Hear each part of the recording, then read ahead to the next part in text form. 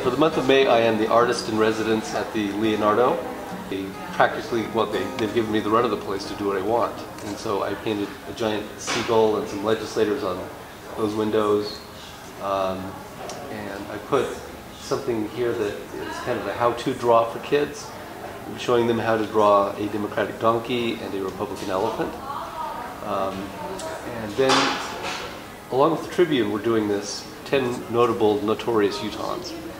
And out of a list of 30 people, uh, readers selected 10 finalists. So we're looking at the first Utahn, Brigham Young, uh, Jedediah Smith, Butch Cassidy, Martha Hughes Cannon, Maude Adams, John Browning, oh, dinosaur Jim Jensen, Philo Farnsworth, uh, Gail Rosica is the 10th.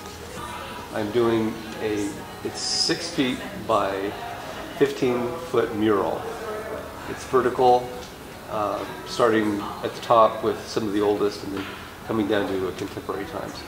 This is something all brand new. You know, I've never done anything this big in my life. Um, and I haven't worked with pastels a whole lot, but as I go along, I seem to be kind of getting better at it. So, uh, you know, if you look at the mural, you'll see that at the top it's a little not as good as the bottom, maybe. We'll see. But a lot of color, and it's really big.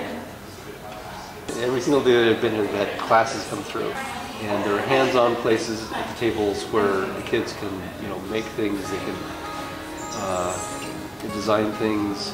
Um, it's a hands-on experience, and who knows, it might just spark some genius in some kid who wants to be the next uh, Leonardo.